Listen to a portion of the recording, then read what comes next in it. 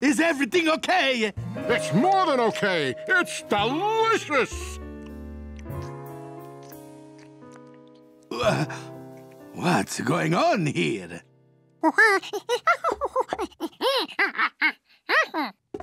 George is telling you that he made the other burgers, not you. Oh, Nettie, you can understand Giorgio? No. What's important is that these were made from your recipe.